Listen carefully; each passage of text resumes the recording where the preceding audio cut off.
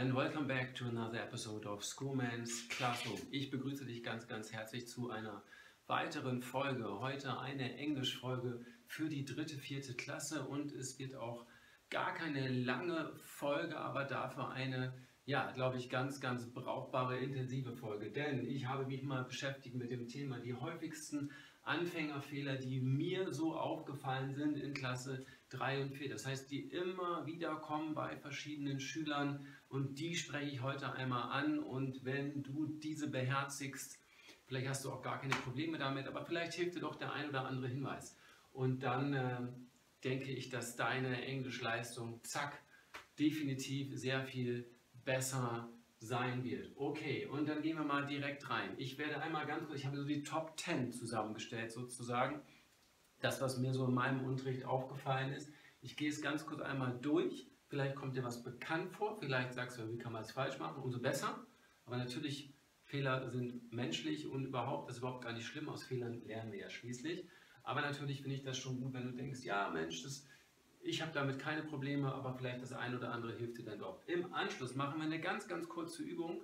Fünf Sätze, diesmal nur, also wirklich eine kurz angelegte Übung, aber es geht hier ganz gezielt um das Beseitigen von Fehlern. So, der erste Fehler, und zwar das, was mir aufgefallen ist, ich nenne das hier, ich mache so ein bisschen hier die Notizen, ist die Kleinschreibung. Das heißt, im Englischen wird in der Regel alles klein geschrieben. Nicht klein geschrieben werden natürlich Satzanfänge und Eigennamen. Dann gibt es noch so ein paar Ausnahmen. Aber in der Regel wird alles klein geschrieben. Und das heißt dann die Nomen, sowas wie Book, klein geschrieben. Und zwar auch, wenn du es äh, beschriftest. Wenn du Sachen beschriften musst bei den Aufgaben, da hast du keine Sätze, es kann gar kein Satzanfang sein.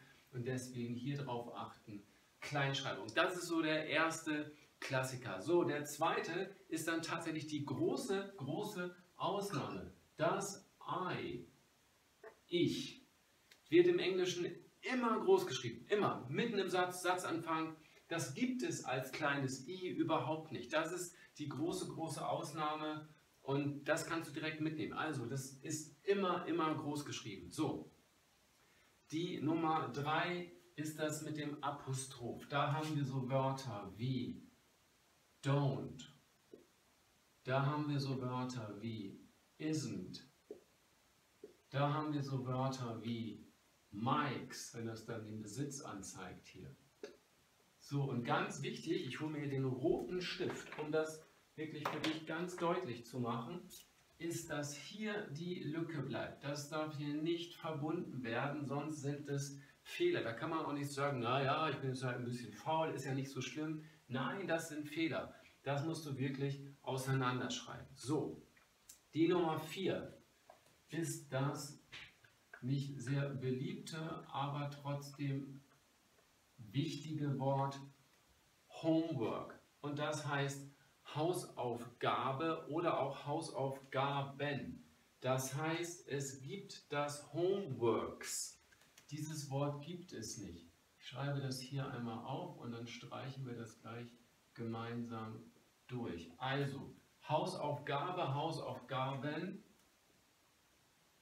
ist immer Homework. Und das ist natürlich ein Wort, was du, denke ich, nicht so ganz selten benutzt. Denn wenn du eine Hausaufgabe zu Hause anfertigst und die Überschrift ist nicht so ganz klar, dann schreibst du oben über Homework. Und wenn das dann mehrere Sachen sind, dann darfst du hier kein S dranhängen. Das ist hier die Nummer 4. Die Nummer 5. Das ist so ein bisschen ja, was Typisches im Englischen. Und zwar Apple. Und da haben wir hier die Endung LE. Das haben wir auch bei Little zum Beispiel. Ne? Da ähm, sehe ich oft Apple, dass wir das, weil wir das als deutsche Endung kennen, das EL, das ist absolut verständliche Fehler. Also es, irgendwas hat man sich ja schon dabei gedacht. Es ist ja nicht, dass man das irgendwie mit Absicht da die Fehler kreiert. Deswegen merken im Englischen die Endung LE bei Apple, das ist somit das, eine der ersten Wörter, die wir lernen. Da hat man das gleich als super Beispiel. Die Nummer 6. Die Nummer 6. Und das ist auch was, was groß geschrieben wird. Und da haben wir eine Ausnahme, nämlich Nationalitäten und Länder. German und Germany. Und das ist dann so ein bisschen, weil das was ganz anderes dann bedeutet. I speak German. Ich kann nicht sagen, I speak Germany and I come from Germany. Also Deutsch und Deutschland. Hier das Y bei Deutschland mache ich hier nochmal deutlich. Das sind einfach so Sachen, die man ja vermeiden sollte tatsächlich. So, die Nummer 7 und das sind Wörter, das ist jetzt eine Sache der Aussprache tatsächlich. Wörter mit K und N, wie zum Beispiel in, nie, das Knie. Das kennen wir bei den Körperteilen, das kommt relativ schnell dran und da wird das K nicht gesprochen. Ebenfalls eine wichtige Vokabel ist Messer, Knife. Knife, wenn das Thema Food, wenn das Thema Essen aufkommt, dann hast du Spoon and Fork and Knife and Plate, Knife. Auch hier wird das K nicht gesprochen. Dann hätten wir noch das Wort Knight, das ist der Ritter und da ist das ebenfalls. Also bei den Wörtern mit KN ich unterstreiche mal hier das N, denn das wird gesprochen und das K wird nicht gesprochen. Wir kommen zur Nummer 8 und das ist so eine Grammatikgeschichte, auf die ich gerne nochmal eingehen möchte. His, sein oder seine und her, ihr oder auch ihre. Also sein ist männlich, his, Junge, männlich, his cappy, her skirt. His and her. Und das müssen wir einfach so ein bisschen lernen. Da kannst du auch nichts ableiten und das sind ganz wichtige Wörter, die du ganz viel brauchst. Und die Nummer 9 ist dieses hier. Auch ein Aussprachefehler. So. My name. Es geht um dieses my. Und das, ich schreibe das hier nochmal auf, also my in der Lautschrift haben wir hier ein I. My, my book, my name. Und da höre ich ganz viel ein me und das ist falsch. Me wird anders geschrieben, das heißt dann sowas wie mir, bedeutet auch was anderes. Und du lernst ja im Englischen so, also die meisten zumindest, die kommen ja schon so mit ein bisschen Wissen an. Die können schon sagen, my name is Lucy zum Beispiel. Ne? Und deswegen ist dieser Fehler für mich ganz komisch. Da scheint du viel zu viel nachzudenken und ähm, rufst gar nicht ab, was du eigentlich schon unterbewusst weißt. Ganz genau, darauf wollte ich nochmal hinweisen mit dem My. So, und die Nummer 10, das ist auch tatsächlich was, was ganz, ganz häufig vorkommt. Und wenn du dort an den falschen Lehrer gerätst, bei mir ist das der Fall, dann sind das Fehler, nämlich die Satzschlusszeichen. Es gibt als Satzschlusszeichen den Punkt, das Ausrufezeichen und das Fragezeichen. Und die gehören zum Satz dazu. Und wenn die nicht schon vorgefertigt sind und schon dort stehen in der Übung, dann musst du die auch mit einsetzen, sonst ist der Satz nicht vollständig. Okay, so, und das sind für mich so die Sachen, die so am häufigsten vorkommen. Wenn du das beherzigst, dann denke ich, ist das für dich schon mal ein kleiner Boom-up, ist das schon mal eine ganz schöne Verbesserung. Also, wir gehen gleich in eine ganz kurze Übung. Fünf Sätze, drei diktiere ich dir, zwei möchte ich, dass du mir die übersetzt. Und da kommt natürlich das hier drinne vor. Ich lasse das hier auch stehen, und wir gehen es nochmal einmal ganz kurz durch. Also, Kleinschreibung. Im Englischen wird alles klein geschrieben. Satzanfang wird groß geschrieben. Eigennamen werden groß geschrieben. Und es gibt so ein paar Ausnahmen. Die Monate, die Tage. Also es gibt ein paar Ausnahmen. Aber in der Regel Book, School, Bike, alles klein geschrieben. So, dann das I. Das wird immer groß geschrieben. Immer, immer, immer. Satzanfang, mitten im Satz, Satzende, vollkommen egal.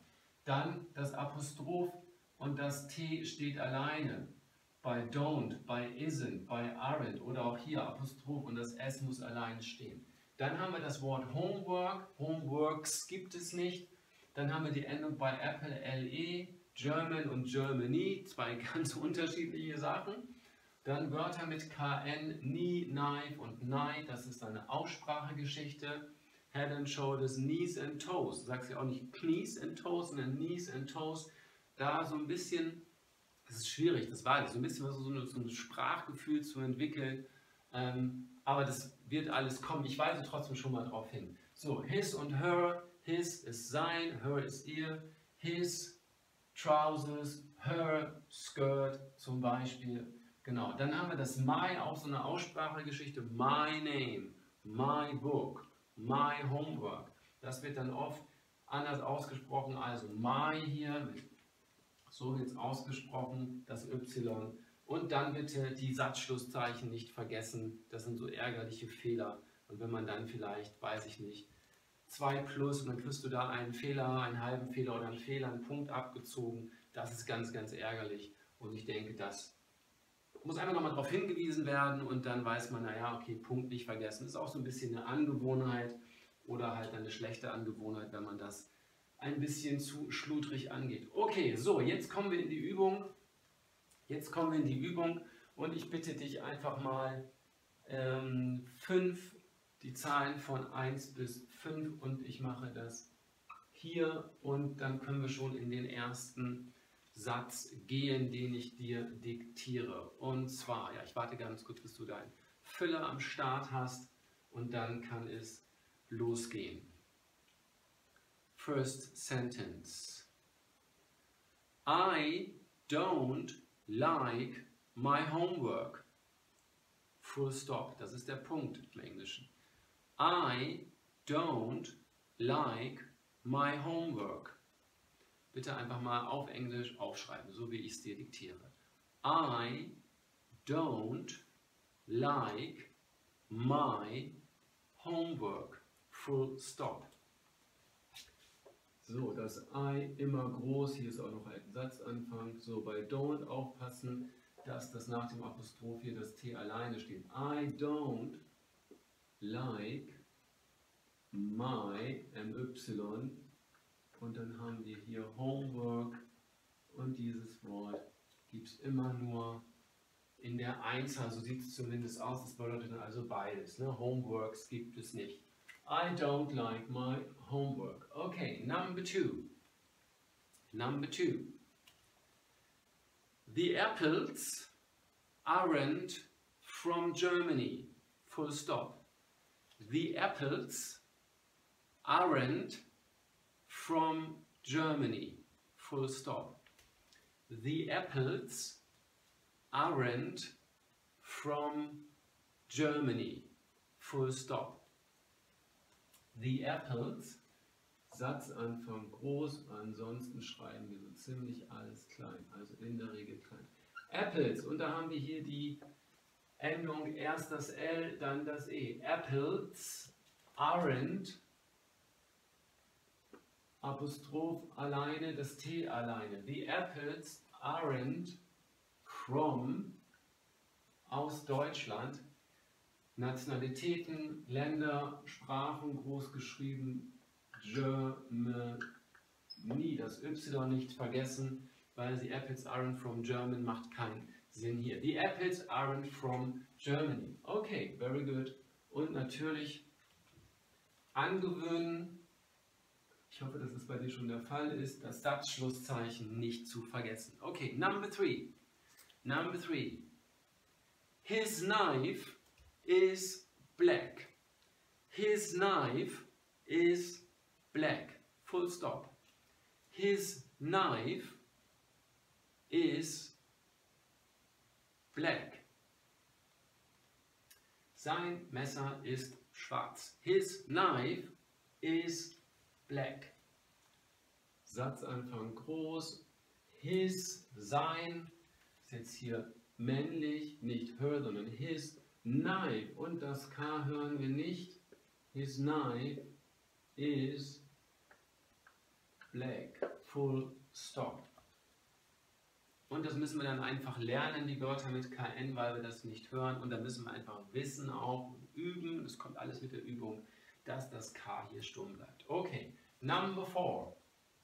Number four. Und jetzt möchte ich, dass du mir das ins Englische übersetzt. Und da kommt der vierte Satz. Ich mag meinen Apfel nicht. Ich mag meinen Apfel nicht. Kleiner Tipp von mir, guck dir mal den ersten Satz da oben an, dann kriegst du den Satzbau auch ein bisschen in den Griff. Ich mag meinen Apfel nicht. Ich mag meinen Apfel nicht. Ich warte noch kurz. Ich mag meinen Apfel nicht. So, ich mag nicht ist I don't like. Das ist hier die feststehende Konstruktion. I don't like. I immer groß geschrieben, Satzanfang ohnehin groß geschrieben. Don't, Apostroph, das T steht alleine. I don't like meinen Apfel. My, MY, Apple. Und hier haben wir die Endung LE. I don't like my apple. So, und dann kommen wir auch schon zum letzten Satz. Wir mögen keine Hausaufgaben. Wir mögen keine Hausaufgaben. Wir mögen keine Hausaufgaben. We, aufpassen, dass du hier ein vernünftiges W schreibst. Jetzt ist unten ist hier der die Verbindung zum E. We don't like, we don't like. So, und jetzt Hausaufgaben hatte ich diktiert und das Wort Hausaufgaben gibt es nicht im Plural. Ah, we don't like homework. Full stop. Wenn du jetzt the homework geschrieben hast, kannst du auch machen. Ich lasse das jetzt mal ein bisschen unbestimmter hier bisschen genereller gesprochen. Okay, bitte gucken, dass alle Satzschlusszeichen da sind. Und dann schauen wir nochmal an, also Homework kein S, hier das T muss alleine stehen, Apple die Endung, Knife hatte ich diktiert, das K nicht vergessen, Apples, hier haben wir es auch nochmal im Plural stehen, aren't, don't und Germany, nicht German und das I immer groß geschrieben, egal wo es im Satz steht. Okay, das war es auch schon für den Moment. Ich hoffe, dir hat die Folge ein bisschen Spaß gemacht und natürlich auch ein bisschen was an Lernzuwachs gebracht. Ich würde mich freuen über den Daumen hoch in der Bewertung und natürlich auch darüber, wenn du mit deinen Eltern meinen Kanal abonnierst, damit ich auch mir weiterhin ganz, ganz viele Themen für dich ausdenken kann. Okay, so far so good. Bye bye, your online coach.